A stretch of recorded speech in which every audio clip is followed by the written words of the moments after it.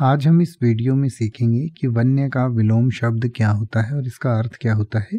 और साथ में हम कुछ उदाहरण वाक्यों से भी इसे और अच्छे से समझेंगे। तो सबसे पहले वन्य का अर्थ समझते हैं। वन्य का अर्थ होता है जंगली, वन में रहने वाला या वन से संबंधित। यानी कि वन या जंगल से संबंधित कोई चीज़ होती है या वहाँ की कोई चीज़ या कोई वस्तु या कोई जानवर होता है तो उसको हम वन्य कहते हैं। तो वन्य का विलोम शब्द यानी कि विपरीतार्थक शब्द हो सकता है पालित या गृहस्थ।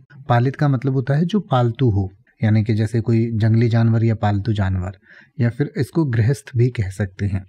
तो पालित या गृहस्थ का अर्थ होता है पाला हुआ या पालन किया हुआ, यानी कि जो घर पर रहता हो या घर का हो। तो आइए अब हम वन्य और पालित या गृहस्थ को कुछ उदाहरण वाक्यों से समझें, जैसे कि आप कह सकते हैं कि वन्य जीव संरक्षण ज़रूरी है, या फिर आप कह सकते हैं कि वन्य क्षेत्र में शिकार निषेध है। या फिर आप कह सकते हैं कि गृहस्थ जीवन और वन्य जीवन में बहुत अंतर होता है। या फिर आप कह सकते हैं पालित पशु या पालतू पशु घर में आराम से रहते हैं, जबकि वन्य पशु स्वतंत्र होते हैं।